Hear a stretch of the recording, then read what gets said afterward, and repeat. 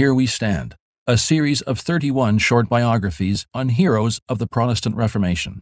This podcast has been produced by Desiring God in partnership with Bethlehem College and Seminary.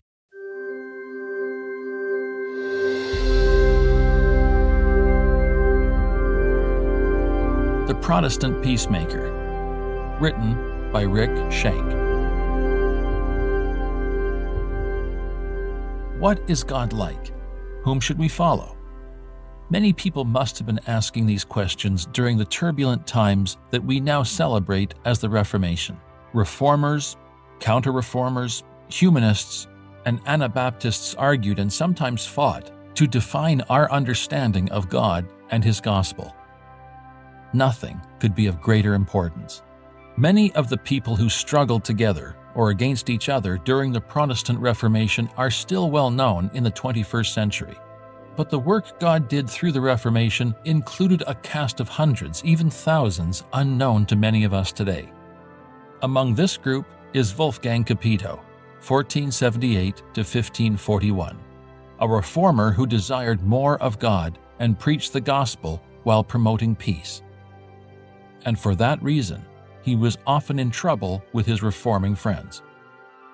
Wolfgang Capito was born in France in 1478.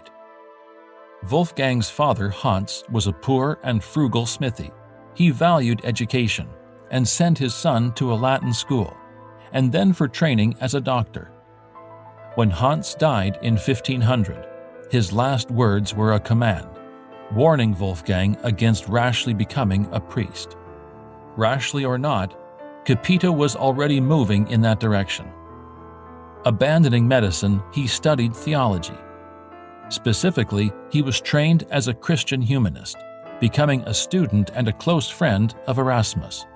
As a humanist, he loved the biblical text and biblical languages, desired Christianity's reform, particularly the morals of its leaders and priests, and yearned for peace. Soon he was ordained for service in the Catholic Church. Capito was sent to Basel in 1515. There, in Basel Minster, he was slowly drawn out of Catholicism and mere humanism into the Reformation. While in Basel, he became friends with Zwingli and a correspondent of Luther. During this time, Luther's theology confused him. At first, he begged Luther to be less offensive, especially to the Pope. This counsel Luther did not heed. Even so, Capito eagerly published Luther's works in Northern Europe in 1518. Yet, still a humanist, Capito truly did not understand. He continued to engage in a dialogue with Luther, and then in 1522 he visited Wittenberg.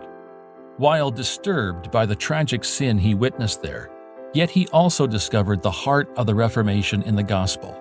God found his heart.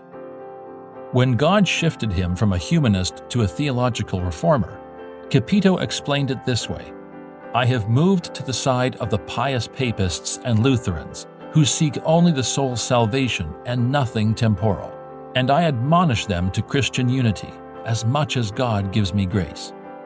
His heart was now God's, yet his humanist training resonated deeply with the biblical call for peace.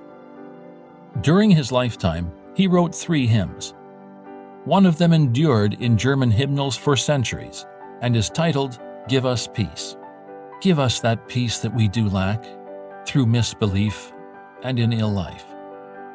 Thy word to offer thou dost not slack, which we unkindly gain strive.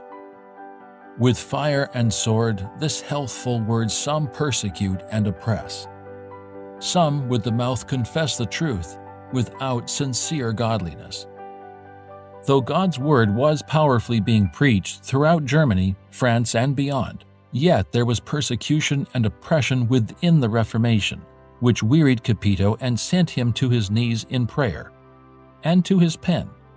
He continued to call Luther and Zwingli to find common ground on the theology of the Lord's Supper, and he called for mercy to be shown to the Anabaptists. Throughout his life as a reformer, many interpreted his call for mercy to theological opponents to mean he agreed with those opponents. Yet, mercy is not agreement. His condemnation of violence, coercion, and even offensive language was a call to God's people not to interfere in the work of the Holy Spirit to discipline those who oppose. What is God like? Whom should we follow? Such questions still challenge the world today as we seek to call many to delight in the God of Luther and Calvin. We would do well to follow Capito's example and God's command. The Lord's servant must not be quarrelsome, but kind to everyone, able to teach, patiently enduring evil, correcting his opponents with gentleness. God may perhaps grant them repentance leading to a knowledge of the truth. 2 Timothy chapter 2 verses 24 and 25. We are called to gentle and peaceful engagement, even at the risk of being misunderstood.